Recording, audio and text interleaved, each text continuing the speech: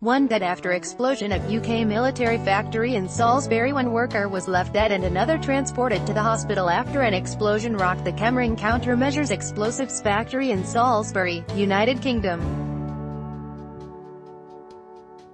The plant is just three miles from the secretive chemical research lab operated by the Ministry of Defence in Porton Down, The Sun reports.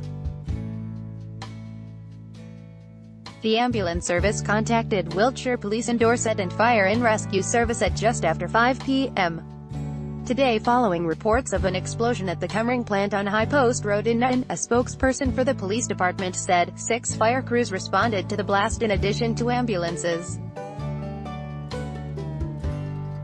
The police and the health and safety executive will be investigating the source of the explosion while road traffic in the area has been halted by authorities. The facility produces hardware meant to fortify naval ships and aircrafts from enemy fire. The name of the deceased has not been released yet as the next of kin has not been notified. Police expect no other casualties. The incident has been contained and there is no risk to people in the local area, police said.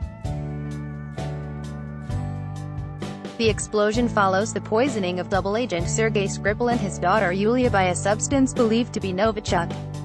British authorities accused the Russian government of orchestrating the attack, a charge Russian officials refute.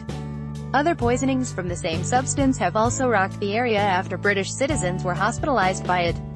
One woman died and a man was hospitalized.